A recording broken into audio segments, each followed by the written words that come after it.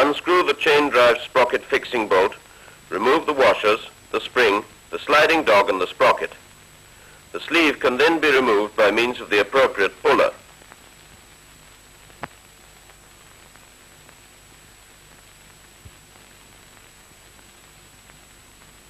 To remove the shaft, tap the splined end with a mallet on the side.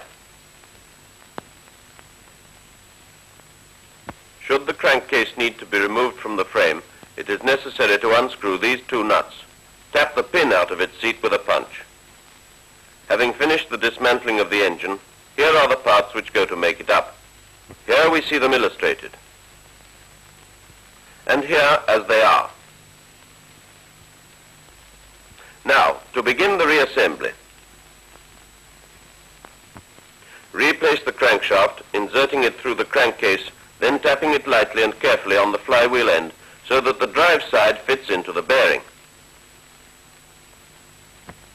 Fit the chain drive sprocket group complete with the sleeve onto the crankshaft, tightening the locking bolt.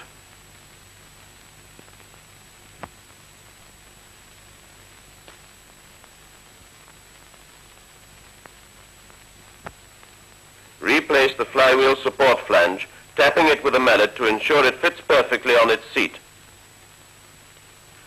In and tighten the three bolts. Now replace the stator plate. If the timing was correct before dismantling, just replace the plate in identically the same position as before. Otherwise, it is necessary to retime the ignition, as will be explained further on. Screw in the three fixing screws.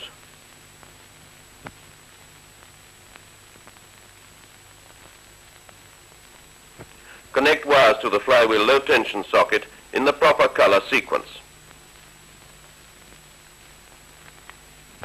Now fit the flywheel rotor to the crankshaft, taking care that it fits properly onto its key. Lock by tightening the left-handed lock nut using flywheel holding tool.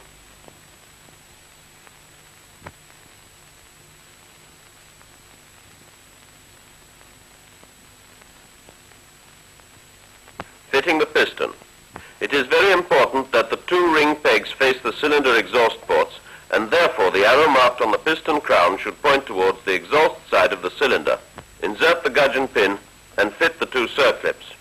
The piston and cylinder are in three standard size gradings, plus, zero, and minus, marked according to the grade on the top face of the cylinder and on the piston crown.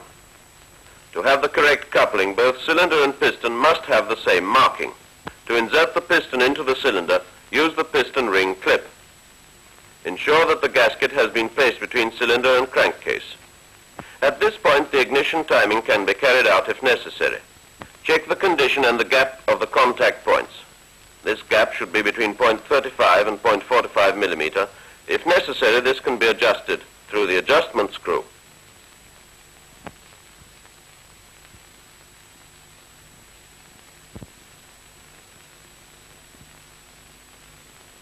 Place the TDC dial gauge with its support onto the cylinder in place of the head. Then connect the electric timing tester with one clip to the green HT coil wire and the other to earth. Bring the piston up to its top dead center, adjusting. The dial gauge to zero.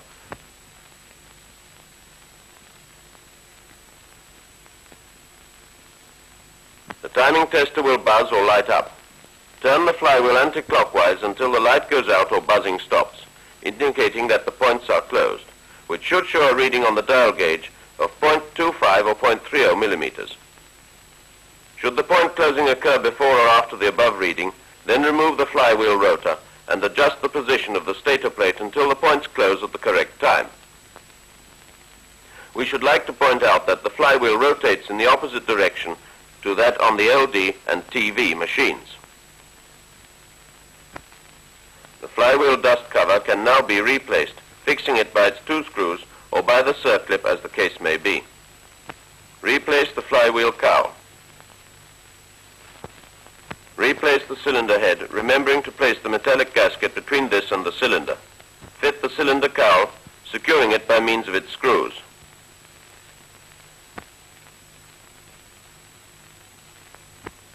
Replace the spark plug and HT lead.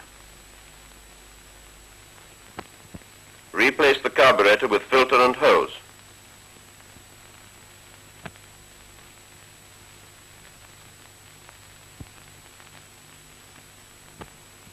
Replace left-hand footboard.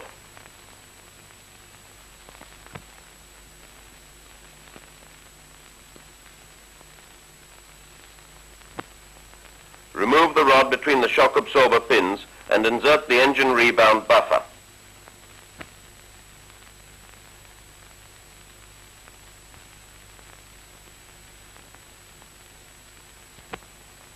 Replace shock absorber.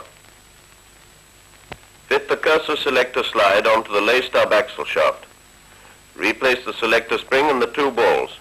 Into the shaft and move the cursor selector until it clicks into position.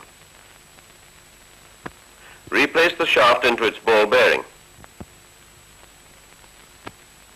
Fit the cone to the shaft, then the hub,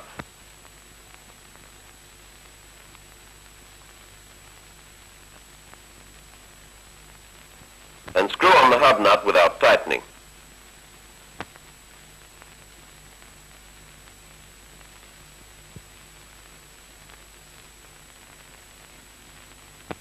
Replace the wheel and fix by means of its four dome nuts.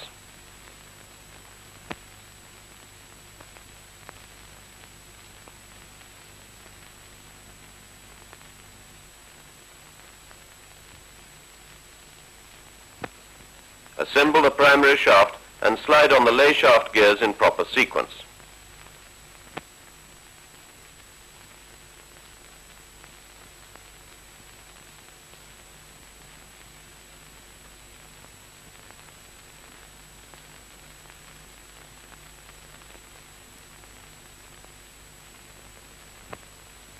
Slide on the needle bearing and replace the gear support flange in perfect alignment in its seat, locking it in position by means of its six nuts.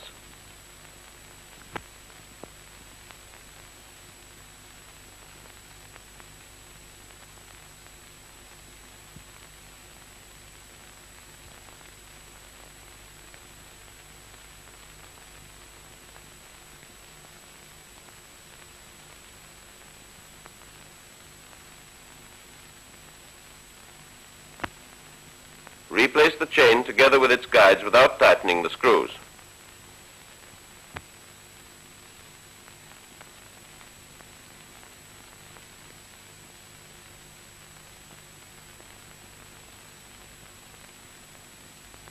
Replace the washer.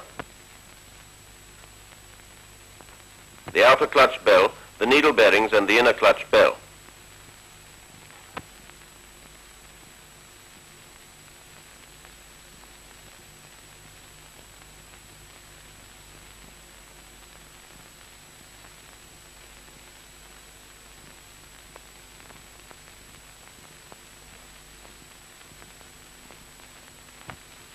The inner bell by means of the appropriate tool.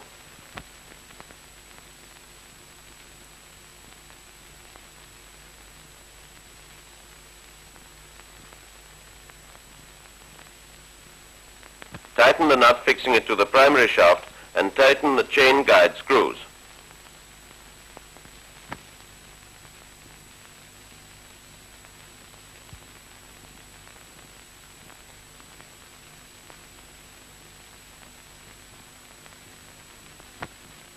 At this point, we carry out the chain alignment check. Unscrew the torque limitator fixing bolt, remove the washer, spring, and dog. The aligning check tool to be used carries an ordinary dial gauge with an extension. Now proceed as follows. Bring the dial gauge point in contact with the chain drive sprocket surface and adjust gauge to zero.